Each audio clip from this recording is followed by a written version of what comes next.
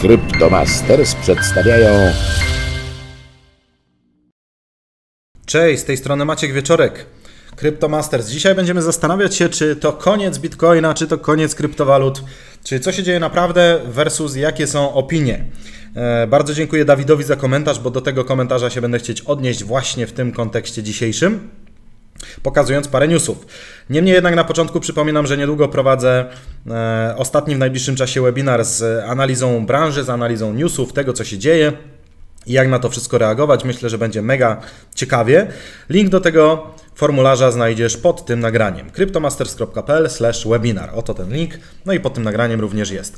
No i dobra, pod ostatnim moim filmem, czy jednym z ostatnich o tym, że coraz więcej kobiet jest w świecie kryptowalut i to jest bardzo dobra wiadomość, napisał e, Dawid.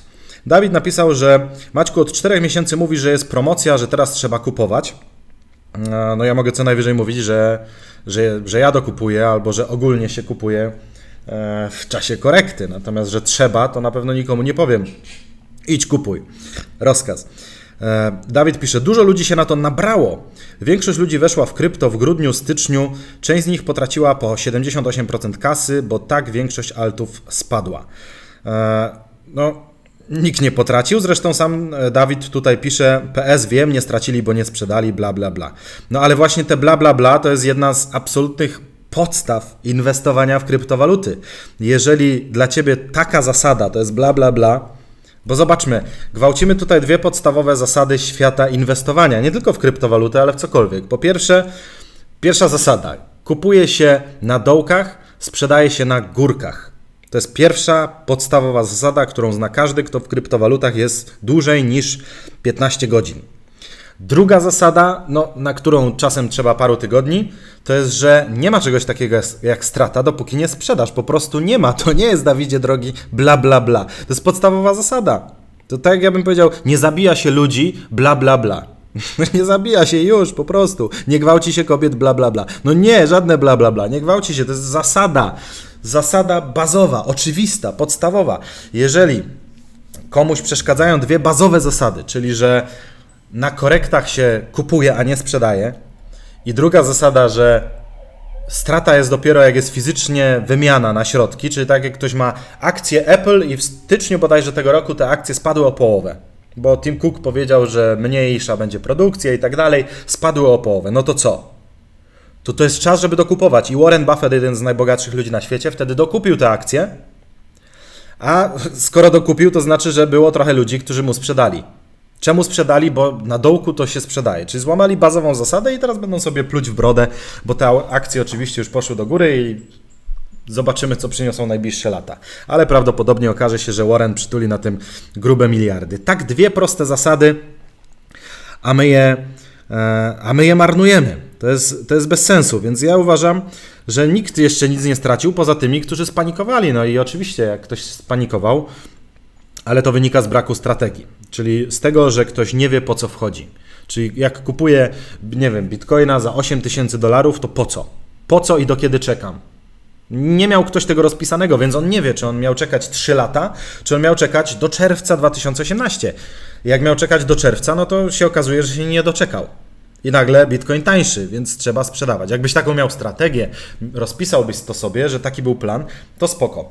Ale większość ludzi nie ma strategii, no i potem się dzieją takie rzeczy. Panika, strata pieniędzy i tak dalej, gwałcenie dwóch bazowych zasad. I jeżeli ktoś ma problem z zaakceptowaniem tych dwóch zasad, to niech posłucha teraz dobrej rady dziadka wieczorka. Trzymajmy się z dala od inwestycji w kryptowaluty, w akcje, forex, tego typu rzeczy. Po prostu. Pamiętam, miałem jeden wywiad ostatnio, zapytali mnie, czy inwestowanie w kryptowaluty jest dla wszystkich. Odpowiedź brzmi absolutnie nie. Nic nie jest dla wszystkich, a już tym bardziej kryptowaluty. Jeżeli mamy taki problem, jeżeli się mega stresujemy na przykład spadkiem cen i tak dalej, to po prostu zastanówmy się, czy to jest temat dla nas, czy to jest tego warte. Tak jak na przykład e, ja w kryptowalutach zaczynałem od tradingu, siedziałem z wykresami, analizowałem. E, Krótko to trwało, bardzo, bo bardzo szybko zrozumiałem, że to nie jest dla mnie. Nawet gdyby to mi miało przynieść ogromne pieniądze w końcu, to to nie jest dla mnie, to ja nie chcę tak żyć. To dla mnie już od dawien dawna są ważniejsze rzeczy od, od pieniędzy. I ja wiem po prostu bezwzględnie wycinam rzeczy, które szkodzą moim najbardziej wartościowym elementom życia, choćby zdrowiu, czy rodzinie, czasowi wolnemu i tak dalej. To jest jakby ważne. Więc naprawdę, e, jeżeli ktoś ma panikować i sprzedawać na dołkach, nawet jeżeli założył, że tak nie zrobi, a jednak się okazuje, że puszczają potem zwieracze i tak robi, to może to nie jest temat dla niego i to nie jest absolutnie jakby ujma na honorze. To po prostu to tak jak ja nie zreperuję ci samochodu. I tyle, to nie jest dla mnie. To nie chodzi o to, że dziś nie umiem, bo się nie uczyłem i mogę się nauczyć. Oczywiście, że mogę się nauczyć, ale to, to, to nie będzie dla mnie. Ja to nawet mogę dobrze robić, jak się nauczę, ale to dalej nie będzie dla mnie. Dalej czułbym się nieszczęśliwy, wymieniając rolki i rozrząd. Po prostu są rzeczy dla nas, są rzeczy nie dla nas, więc uważam, że osoby, które uważają, że faktycznie na przykład, że ci, którzy weszli w zeszłym roku, a teraz już stracili pieniądze, i że to jest faktycznie bla, bla, bla, że tam jak ktoś nie sprzeda, to nie stracił i w drugą stronę, jak ktoś nie sprzeda, to nie zyskał, kiedy jest na górce, to może te osoby nie powinny po prostu być w kryptowalutach, ponieważ łamią bazowe zasady. I tyle. Jak łamiesz bazowe zasady, to, to łamiesz swój stan konta. A w mojej absolutnie ostatniej wizji bym chciał, żeby ktoś tutaj stracił. Także czasem lepiej jest w coś, w dany temat nie wchodzić, niż wejść i stracić. Czy to pieniądze, czy, czy na przykład zdrowie. Także Sprawdźmy zatem, sprawdźmy jakie są fakty. Kilka faktów w tym świecie Bitcoina, który, bo ostatnio też były komentarze, mimo że większość e, komentarzy było bardzo bardzo pozytywnych, zresztą to widać tutaj po łapkach i tak dalej. Tak czy inaczej, e, no było trochę osób spanikowanych, że to już koniec bitcoina, teraz zobaczycie, poleci do 1000 dolarów i tak dalej. Oczywiście tego nikt nie wie i zobaczymy, natomiast sprawdźmy, czy to już rzeczywiście jest po temacie. E, kilka przykładów. W Lublianie, w centrum, w stolicy Słowenii, powstało już dawno temu BTC City, można odnieść mylne wrażenie, że BTC to jest od Bitcoina, ale nie jest tak. To jest po, po słoweńsku. Jakieś tam trzy, trzy wyrazy, już nie pamiętam jakie. Nieważne. E, tak czy inaczej, w artykule o tym nie mamy informacji, a, a szkoda, o Trump się pokazuje. E, szkoda, bo wypadałoby dodać jednak że w ramach rzetelności dziennikarskiej, bo ktoś, kto przeczyta ten artykuł, e, będzie dalej przekazywać informację, że Bitcoin City powstało. Mm, nawet tu jest takie sformułowanie Bitcoin City. A tu chodzi o to, że centrum handlowe BTC, BTC City e, teraz zaczyna przyjmować bitcoiny. Czyli wszystkie, to jest w ogóle fajne, bo jak macie jakieś centrum handlowe, na przykład w Polsce, wyobraźcie sobie takie złote tarasy w centrum Warszawy i nagle się okazuje, że wszystkie sklepy naraz przyjmują bitcoina. Bo to się właśnie wydarzyło w Lublianie. I to jest bardzo dobra wiadomość. Oczywiście ja nie chcę tutaj źle wróżyć. Chcę zobaczyć po prostu, jak to będzie za parę miesięcy, czy, czy się z tego pomysłu nie wycofają, bo były już, już różne firmy i podejścia do tego. E, dopóki nie będzie stabilności bitcoina, to się mogą po prostu wycofać. Mm, no bo wiadomo, że, że to jest jak wahanie jest o 20% w ciągu doby, no to wielu przedsiębiorców nie chce przyjmować takich płatności, bo to wtedy jest ryzykowne dla nich. Także zobaczymy, jak ten projekt wypali, a może właśnie dzięki takim projektom się będzie stabilizowała cena bitcoina, bo to przecież też do tego prowadzi. Niemniej jednak wiadomość jest bardzo dobra, bo to oznacza, że możesz wejść do ponad 400 sklepów i zapłacić bitcoinem. Najpierw na kawę, potem na, na ciuchy, potem zabawki dla dzieci. Za wszystko zapłacisz bitcoinem. Tak, tak wygląda koniec bitcoina, że się okazuje, że w centrum handlowym w państwie europejskim można sobie wejść i kupić. Okazuje się, że w Google'ach wyszukiwania Bitcoina spadło 70% ostatnio. Dlaczego? Bo jest korekta oczywiście, a jak my już wiemy, na, na, korekcie to trzeba odchodzić z tematu, a potem jak będzie kolejna górka, no to wtedy wchodzimy. Będzie Bitcoin za 40 tysięcy, no to to będzie najlepszy moment, żeby wtedy wejść i go się obkupi, obkupić się nim i potem znowu się zastanawiać, kiedy sprzedać e, i czy ze stratą. E, natomiast okazuje się, że w tej całej załamanej historii Bitcoina, gdzie nikt już się Bitcoinem nie interesuje, okazuje się, że Beyoncé dalej jest mniej popularna niż Bitcoin. Zobaczcie, tak wygląda wykres. Czerwony Bitcoin, niebieska Beyoncé i wygląda na to, że przy tym całym spadku Bitcoina dalej Bitcoin górą. A Beyoncé, no to chyba jednak w miarę popularna osoba. Także tak to wygląda. Co jeszcze? CEO, czyli prezes firmy Circle, która jest przecież e, wspierana przez Goldman Sachs, jedną z największych instytucji bankowych świata, mówi, że jesteśmy właśnie na początku tokenizacji wszystkiego.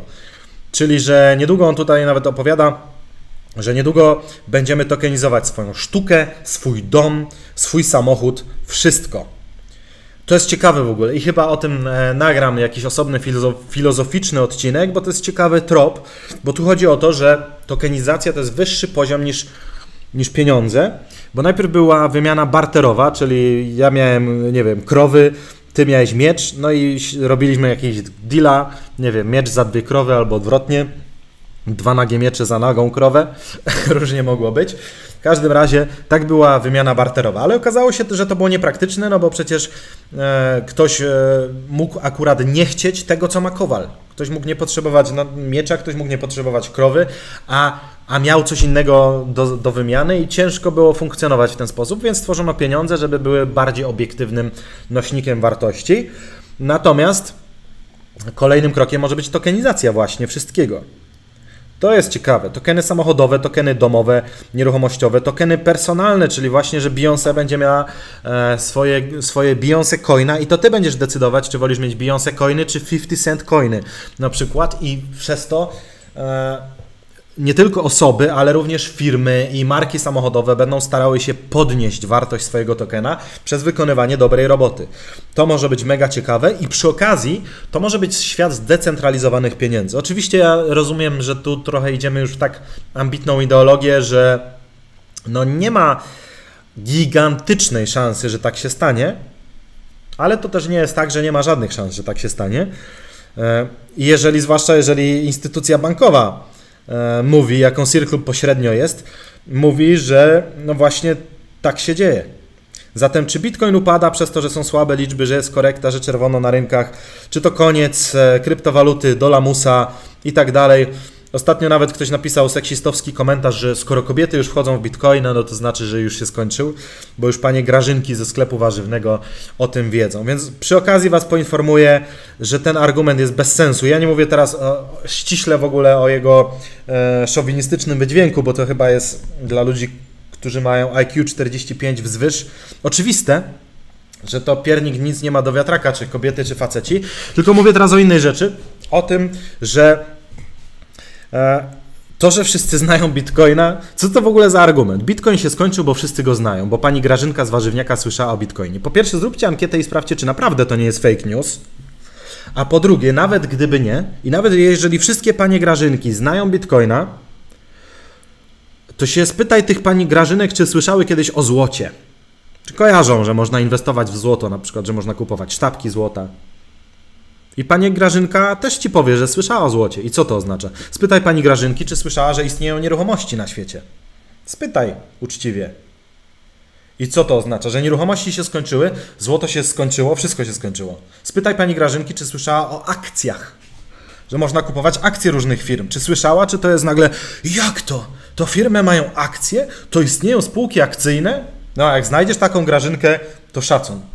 Nie, moim zdaniem każda grażynka wie, że istnieją akcje, że istnieje złoto i może wiele grażynek, chociaż pewnie mniej, wie, że istnieje bitcoin. I co? Skończyło się złoto? Skończyły się nieruchomości? Skończyły się akcje? Nie. To w oparciu o ten argument na pewno Bitcoin skończyć się nie może. Pewnie są inne argumenty, które mają większy sens, którymi można skrytykować Bitcoina jak najbardziej. Natomiast na pewno nie ten że wszyscy o tym słyszeli. Po prostu. O Beyoncé też wszyscy słyszeli i Beyoncé wcale się nie kończy, choć jest mniej popularna niż Bitcoin. Zatem są dobre wieści i korekta to korekta i tak musi być. Oczywiście nie wiemy, ile ona potrwa, do ilu zejdzie. Tego nikt nie wie i tam ludzie biją się w komentarzach. Ten mówi nie, że na 100% w tym roku Bitcoin będzie za 40 tysięcy. Drugi mówi, ale jesteś debil, teraz to już testujemy dno, Bitcoin poniżej 1000. Że taka rozmowa nie ma sensu. To jest w ogóle absurd. To jest typu, możemy sobie równie dobrze pogadać w komentarzach, co uważacie? Czy stół, który mam u siebie na biurku, którego wy nie widzieliście, jakiego on jest koloru? I po prostu, i teraz wyobrażasz sobie wojnę w komentarzach. Ja mogę robić konkurs, dobrą zabawę, żebyście zgadli, e, jakie mam biurko. Ale wojna w komentarzach, że jeden pisze, na 100% jestem pewny po prostu, bo tak wynika z logiki, to biurko jest brązowe. Biurko wieczorka jest brązowe, a drugi mu będzie odpisywać, ale ty jesteś debil, ty się w ogóle nie znasz na biurkach. Biurko wieczorka jest na, na pewno jest czarne, błyszczące. A trzeci mu odpisze, no idiota, idiota, no amator, leszcz, frajer po prostu, jesteś frajer. Biurko na pewno jest białe, matowe. I po co w ogóle o tym gadać? Jest bez sensu. Nikt nie ma z nas takiej wiedzy. W przypadku mojego biurka ja mam taką wiedzę, natomiast w przypadku świata kryptowalut taką wiedzę ma tylko mała grupa grubych ryb obracających miliardami dolarów, które na, ten, na te ceny wpływają i które je kształtują. I tyle. To oni siedzą i oni mają to biurko, a my sobie możemy tylko e, symulować. Natomiast ja patrzę zatem na newsy, na to, co się dzieje w świecie blockchaina, w świecie kryptowalut i dzieje się mnóstwo, mnóstwo dobrych rzeczy i okazuje się, że zarówno adaptacja rośnie, jak i popularność dalej nie jest zła tego tematu, a ludzie z instytucji bankowych uważają, że trend jest bardzo dobry i że świat tokenizacji jest przed nami. Takie rzeczy się dzieją. Cały czas, codziennie, to są newsy z dzisiaj, wszystko wystrzelałem dzisiaj każdego dnia jest dużo takich newsów. Czasem są złe, jasne, czasem są dobre, natomiast tych dobrych po prostu nie brakuje. Więc czy kryptowaluty się kończą? Nie, nie kończą się. Czy korekta się już skończyła i jutro będzie zielono? Nie mam pojęcia. I ty też nie, ma, nie masz pojęcia, i on, i ona, którzy napiszą w komentarzach pod tym filmem, też nie mają pojęcia. My sobie tylko będziemy strzelać. Nie wiemy, ile to wszystko potrwa. Może jeszcze tydzień, może już się skończyło, może jeszcze pół roku, a może dwa lata nawet. Nie wiem, nikt nie wie, znaczy prawie nikt. Poza tymi, którzy o tym zadecydują, bo mają duże pieniądze, żeby to zrobić. I tyle. Także e, póki co wszystko wskazuje na to, że technologia idzie do przodu. Ustalmy sobie strategię i zastanówmy się, po co wchodzimy w świat kryptowalut. Jeżeli wchodzimy, jeżeli wchodzimy po to, żeby być w nim długofalowo, to nie panikujmy, jak jest cykl rynkowy, jak raz spada, raz jest górka. Róbmy swoje, zadecydujmy, Długofalowo to może oznaczać rok, to może oznaczać dwa lata, to może oznaczać pięć lat. Każdy sam sobie decyduje, bo przecież to są Twoje decyzje inwestycyjne. Jedna zasada, jeżeli zdecydowałeś, że trzy lata, to nie panikuj, że po pół roku z tych trzech jest korekta, bo to w ogóle nie ma żadnego znaczenia. Ciebie interesuje tylko wynik na koniec trzech lat. Tak samo jak to działa w akcjach klasycznych firm. Ich tam nie interesuje, że po jakimś newsie akcje spadają, rosną, bo to są bzdety. To tylko ci panikarze później sprzedają Warrenowi Buffettowi, a ci prawdziwi inwestorzy, oni czekają na dywidendę pod koniec roku. To ich interesuje. Jak one te dywidendy będą za słabe, to wtedy stwierdzą, dobra, pozbywamy się tych akcji i wchodzimy w coś lepszego. Tyle. Jest tak proste i jak widać, tak skomplikowane. Życzę Wam owocnego owocnej edukacji, owocnego trzymania się zasad mocnych nerwów, jeżeli będzie dalej trwała korekta, czyli takiej odporności na, e, no, na korektę, na cykle rynkowe.